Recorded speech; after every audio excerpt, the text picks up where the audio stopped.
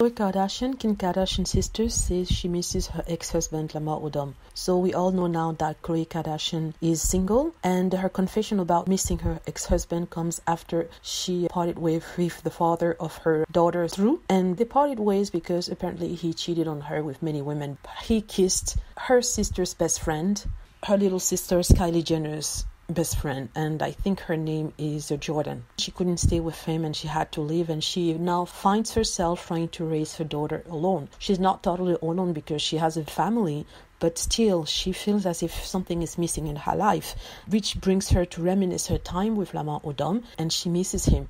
I do believe that Lamar odom was a man that she truly loved. She really loved him.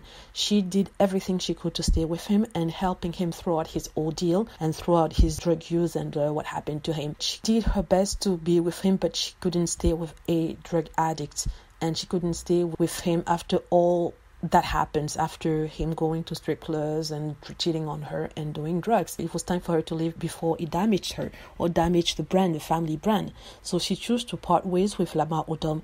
But I believe that Lamar Odom was the one for her. They were perfectly matched. They were complementing each other. They looked so cool and so relaxed with each other. And she truly looked happy and in love. I don't think that of all men she's dated, she's been able to find the same kind of love and the same kind of um, chemistry she had with Lamar Odom. He did love her, and that's what he even said in his biography that came out last month. Lamar and uh, Khloe dated and they were married i believe for four years unless i'm mistaken it's right after him that she dated true's father and uh, she got pregnant no so it's sad to see that she feels so lonely and she feels so so betrayed by tristan thompson that she have to dig into her other past in order to find something that comes close to love and that's why she reflects on her life and love life and says that she is actually missing Lamar Odom. So this is my commentary on Khloe Kardashian and her love life.